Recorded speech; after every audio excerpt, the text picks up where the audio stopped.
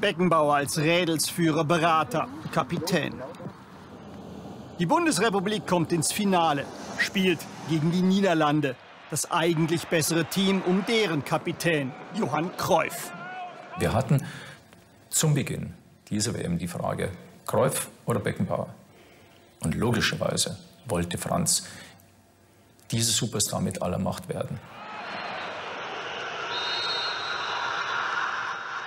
War doch, ich reklamiere noch beim Schiedsrichter, weil ich gemeint habe, das Foul war außerhalb, aber einen Engländer zu überzeugen ist schwierig.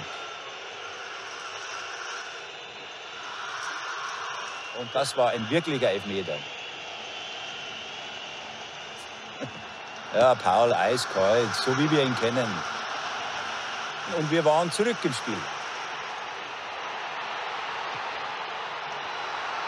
Ja, super. Gerd Müller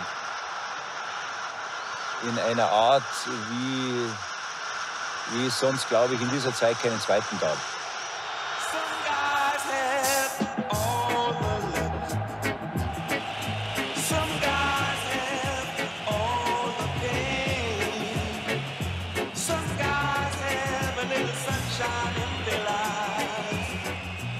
16 Jahre später. Das Spiel ist aus! Deutschland ist Fußballweltmeister 1990. Auch da die Vorgeschichte, typisch Beckenbauer. Ein Jahr nach Beendigung seiner aktiven Karriere ist die Nationalmannschaft 1984 am Boden. Von allen Seiten kamen sie dann auf mich zu und so, ja, diese Lobhudeleien, du bist der Einzige und so weiter, auch äh, äh der, dieses, äh, der das machen kann. Äh, ich habe dann immer meine Bedenken geäußert, ich habe keinen Trainerschein und so weiter, also lass mich bitte in Ruhe. Ich bin doch nicht blöd, hat er gesagt. Ich werde nicht Bundestrainer. Was ist er geworden, Bundestrainer? Mit äh, Fußball möchte ich später nichts mehr zu tun haben und ein Trainerberuf kommt für mich wahrscheinlich nicht in Frage wenn man dann so umworben wird, das ist ja dann oft so, auch mit einer Braut, ja, wenn die so hofiert und umworben wird, dann irgendwann gibt sie sich hin. Und so war das bei mir auch. Der Franz hat ja immer wieder ein bisschen Betteln braucht. Aber wenn er dazu gesagt hat, dann war das 1A. Es wird extra ein Titel geprägt für Beckenbauer, der des Teamchefs. Es geht nicht gleich bergauf. Der Kaiser muss sich neu erfinden.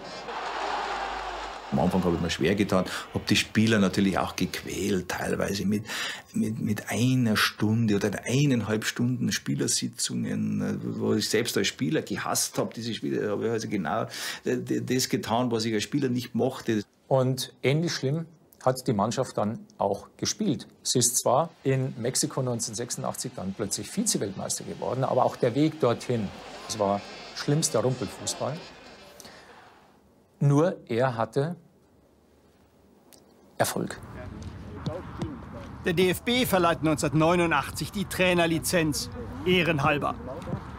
Beckenbauer, der Gentleman am Ball, zeigt nicht zum letzten Mal seine Arbeiterqualitäten. Was für mich äh, das Schlimmste gewesen wäre, wenn man mir irgendwas, eine Nachlässigkeit nachgesagt hätte, dass ich irgendwas übersehen hätte. Ja, und deswegen habe ich mich äh, akribisch auf den Gegner vorbereitet. Ich habe bis nach Mitternacht habe ich Video studiert, äh, also bis zum geht nicht mehr. Ich wusste teilweise mehr über den Gegner als über die eigene Mannschaft. Ja, und das war ich mir halt einfach schuldig. Die WM Bella Italia, ein Triumphzug 1990. Tor mit links. Und dieser Schuss entfaltete neue kaiserliche Züge. Auch wenn man sagt, was erzählt er denn da? Aber du hast es ihm geglaubt. Auch wenn es vielleicht nicht richtig war, aber du hast es ihm geglaubt. Er hat es mit so einer Überzeugung rübergebracht, du hast ihm alles geglaubt.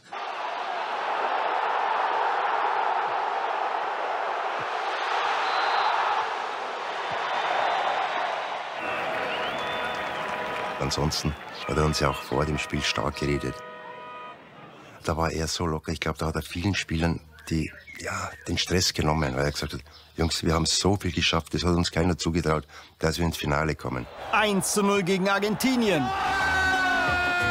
Breme. Der Kaiser hat die Krone, die deutsche Mannschaft den Pokal und wir hatten Spaß an diesem deutschen Sieg.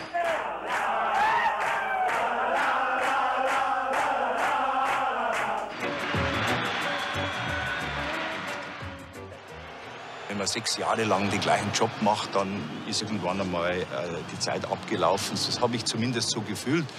Und ich wollte halt einfach alleine sein und habe die Gelegenheit genutzt, den ganzen Trubel äh, zu entgehen. Bin ausgewichen. Die Mannschaft hat sich auf den Weg gemacht auf eine Ehrenrunde.